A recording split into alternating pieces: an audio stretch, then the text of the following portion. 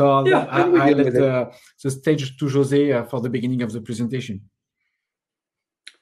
Okay. Uh, so yeah, good morning, good afternoon, good evening, everyone. Uh, I'm uh, Jose Fernandez from uh, General Electric Renewable Energy. Uh, so I'm with uh, Guillaume Takoun from uh, Onyx. I'm really happy to be in this conference with, conference with you to share our experience regarding virtual reality as a whole applied to training. Uh, so let's start with the uh, beginning. Uh, if we can go to the next slide, please. Next. Yep. This works. Brilliant. Thank you. okay, we're on slide two. Great. Thank you. Uh, so, uh, how did we get to consider virtual reality to implement trainings? Uh, well, it was as simple as trying to continuously improve our way to train people, really. Um, in fact, it was easy to evaluate virtual reality impact as we already had the criteria to improve the quality of our, uh, I would say, classic trainings. We just had then to assess virtual reality against each of these criteria. Uh, you can see them here. Uh, I uh, listed them all. Uh, the most obvious uh, is cost, of course. And an industrial product can be very costly, so it can represent an important training investment to buy one creating a VR interactive 3D twin object of the product can be then a much cheaper alternative. Uh, back to the, uh, I would say, classic training approach. If you bought the product, you had budget to do that for the training, uh, then it's not over, as it can be a large object that may fill your training room or hall almost completely. It means the logistics to bring it safely into the training center represent additional costs and lead time. So it can be tricky to organize your training sessions then. Cancels this almost completely as content is di digital and can be available. So now let's go to the items uh, our trainings must fulfill to be relevant. So what I call training imperatives. Uh, first, um, the trainings have to provide, at least to some extent, practical or hands-on experience, as it is the best way to make sure trainees remember what they are presented. Here too, virtual reality is best adapted to that as we can create interactions of any level of complexity. We are free to design uh, really the world as we see fit. Of course, when training or working on potentially powered on high voltage products, uh, people's safety is paramount. Uh, and to me, this is the most important of virtual reality as we eliminate completely the safety risk of training on a live, uh, meaning powered on product. Um, the last item uh, I call no trade-off on content and details uh, is really about refusing to be limited by the training tools we use or that we will use um, uh, when, when it comes to present product details. Uh, once again, virtual reality is perfect here as you can natively show and explore any 3D model. So reaching that point, reaching that point, in the end, we had to find a product in GE Renewable Energy Catalog that will enable us to review all these training constraints and imperatives against virtual reality tools. Uh, so we went to a power transformer as it ticked all the checkboxes. Uh, as an example, a power transformer is not something you buy every day. It's large, and uh, there are a lot to explain of what's uh, happening inside it. So uh, from a training perspective, it's uh, it was really a best case. So uh, if we can move to the uh, next slide, please. Okay, so next.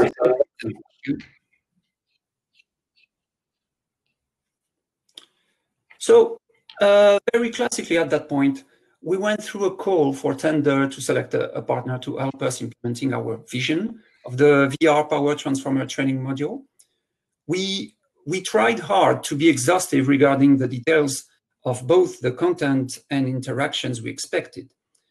And uh, candidate companies, uh, sorry, Guillaume, and uh, basically, I'm glad you you are not listening to what I'm saying, but candidate companies had to go through a lot of text, a bunch of it. So uh, it, we had, of course, a scorecard to rate the answers, and uh, Onyx won the race fair and square. but on top of that, um, they demonstrated a deep understanding of our business descriptions and needs. Uh, and uh, that um, contributed to make the difference. Uh, and that's it. Uh, that gives me the excuse to uh, hand over to Guillaume now. Um, we've um, just covered the the Onyx understanding of the business needs in the call for tender, and we're handing over to you. So thank you, Jose. Thank you. Thanks a lot. Uh, so I think the the main idea of the of the discussion was to uh, was to discuss about how to design a, a successful pilot, and uh, and Jose uh, uh, have said it. I think the first part of uh, of having a successful pilot is to to have a good understanding of the of the business needs um, and that's uh, that's really a critical part of uh, designing a successful VR application because okay, VR is a, a, a nice technology, uh, but this is a usage of technology that is very important. Uh, because if you want to do marketing, you would go, I believe, to go marketing. to, you would look for marketing experts. If you want to do uh, uh, technical trainings within the industrial world, uh, you need to look for people having uh, skills within the industrial world with industrial knowledge uh, because it's the backbone of uh, successful co collaboration. So actually, this is the second point of my slide. It's uh, whatever you do in VR is competency is the key. Of course, VR competency, VR development skills are the, let's say, base layer. Uh, in this case, the industrial knowledge and the technical knowledge is really the backbone of the successful collaboration because you don't need to explain all the industrial constraints, all the industrial, you know, know-how uh, before going in before going the, to the to the implementation. And that's really the key. You can do marketing with VR. So my advice would be go and look for marketing experts.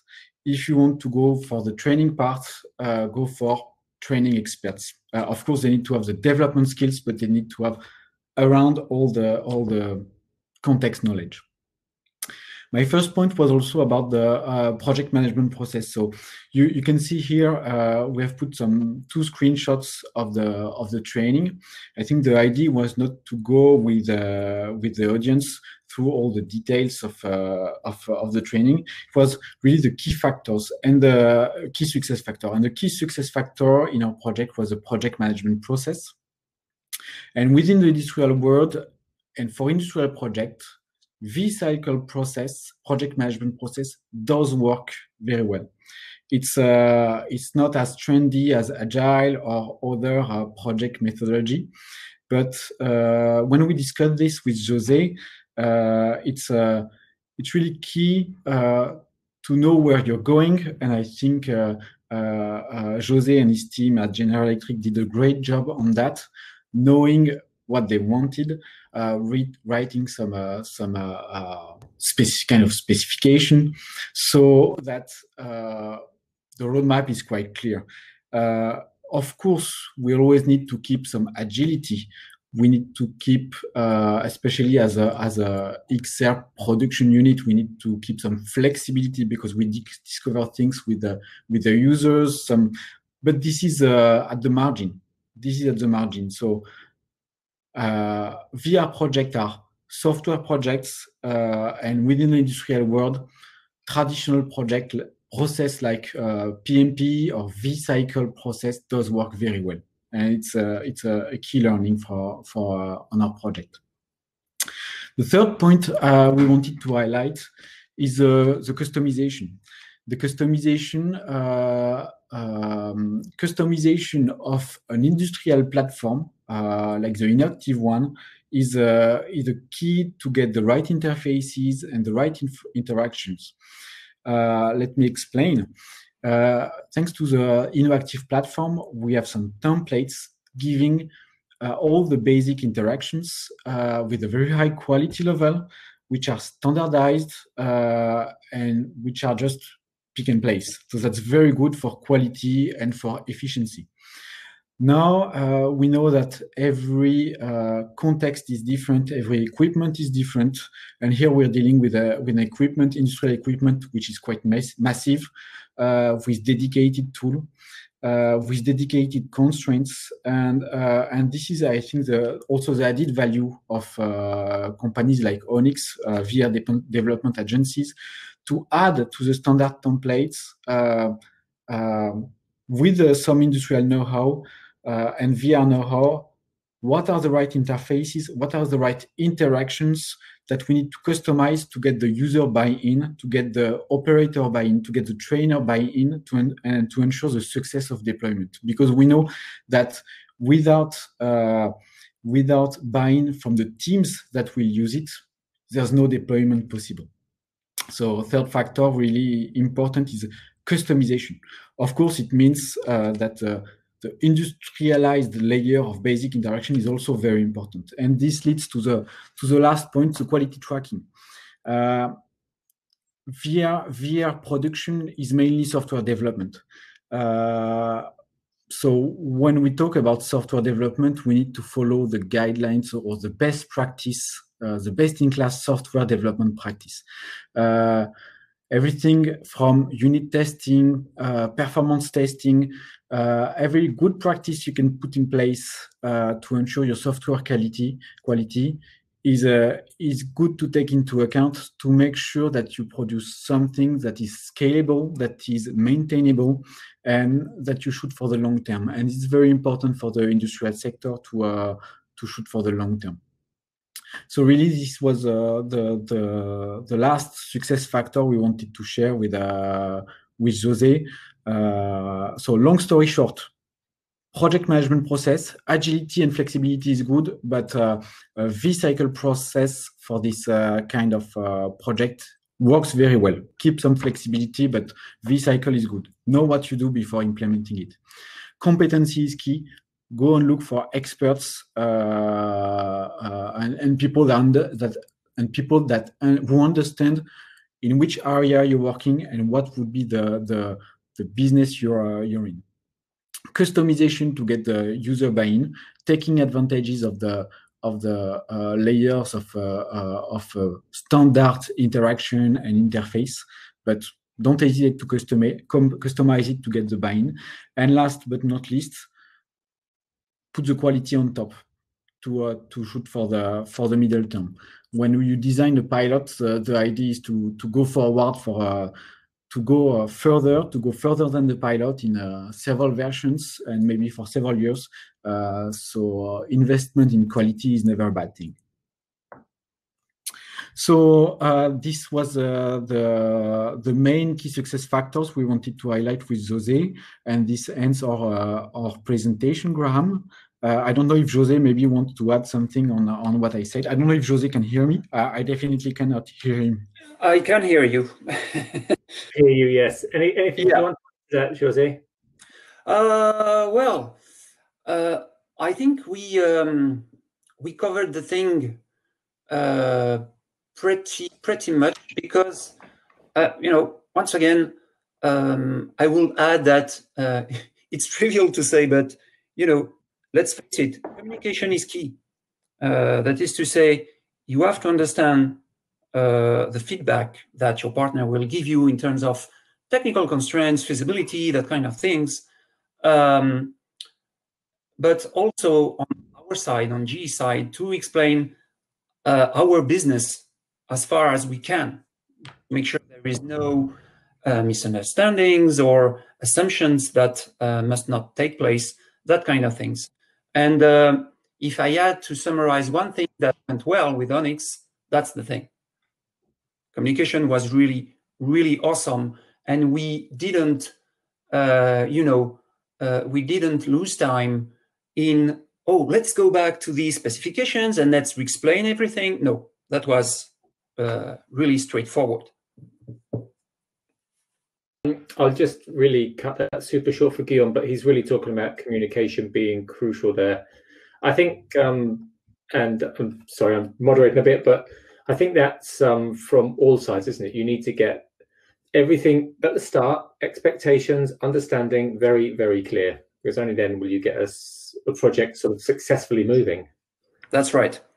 Uh, to once again, goal here is to avoid uh, losing time. You know, and uh, you know, once again, it, it's trivial, but uh, the more you wait, and the more, the more important the um, corrective actions will be. You know, uh, that's that's uh, the the stuff we avoided there.